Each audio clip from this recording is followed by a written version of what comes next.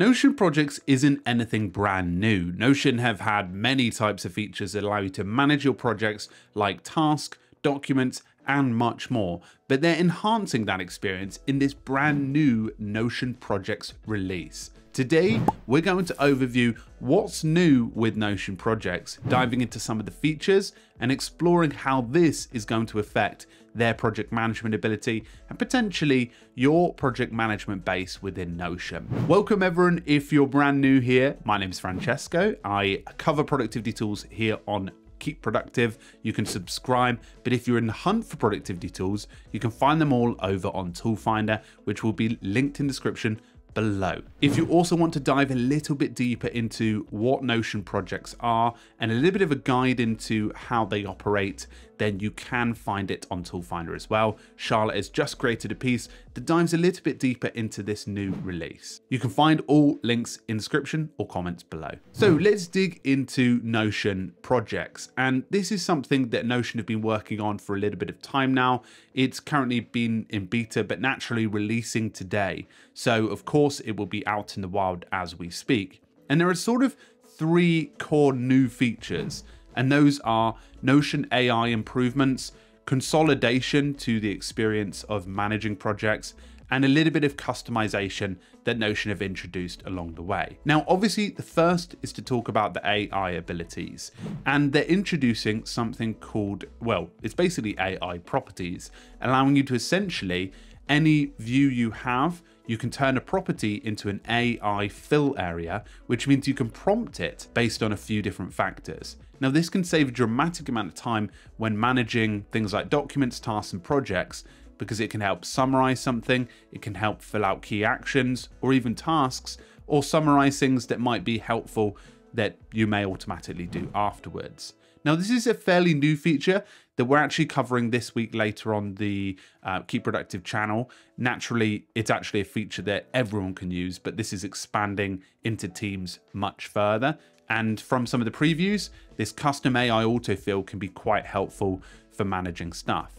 You can also set up autofills for existing properties you already have. Now, aside from that, project management is getting obviously slightly more refined in the AI release, which including the ability to draft and edit project plans, results, and more, being able to really refine that much further. Now, Notion AI actually has been out for some time and has been doing a pretty good job of that. So that's good to see that they're expanding that into properties. Now, when it comes to consolidation, Notion don't just want you to manage your projects here. They wanted to manage every aspect of the project.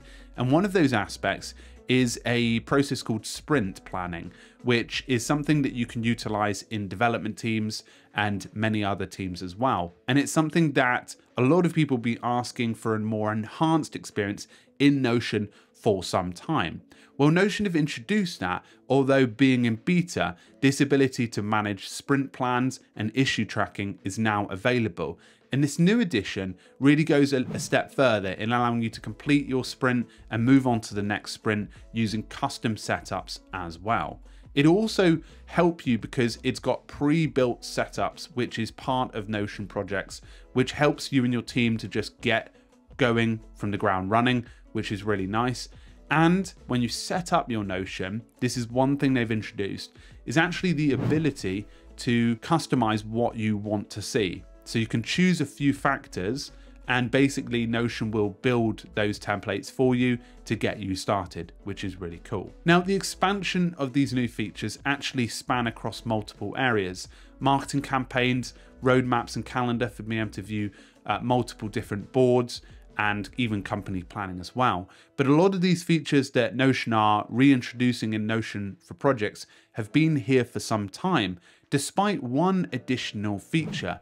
And this, I think, is a direct attempt to try and chase after Linear, and that's IDs. IDs are more helpful for utilizing issue tracking, and it's something that Notion have added as part of a property. This is obviously a small update for some people, but a massive update for those who are using that type of planning and coordination. So AI has been introduced and refined in properties.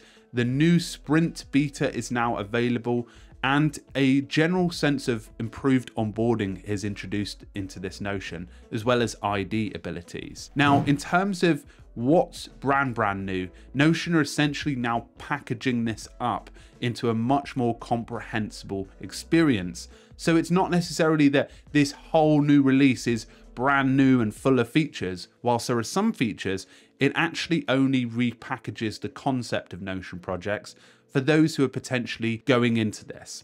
I did actually see, despite only seeing this on the product page, um, not in the actual pre-release that I got access to, is actually something where it enhances your workflows in terms of setting up these custom workflows and um, these sort of knock-on effects that are part of it. This is something that I think uh, I think I saw Benjamin Borowski uh, release on Twitter, and it's something that uh, I think is going to be available for those who are using Notion projects. But I haven't seen a heavy push on this new release anyway. So that's Notion for projects. It's not anything new, but there are new elements in it, and it definitely introduces a really much more refined experience for those who want to use Notion for projects. So if you're new here, I would love to have you as a subscriber. Hit subscribe and we'll dive into the AI properties later next week or this week. And naturally, if you want to find a productivity tool, you can hunt for them over on Toolfinder. Thank you very much, folks, and I look forward to diving into future features with you. So I'll see you in a future video. Cheerio, folks.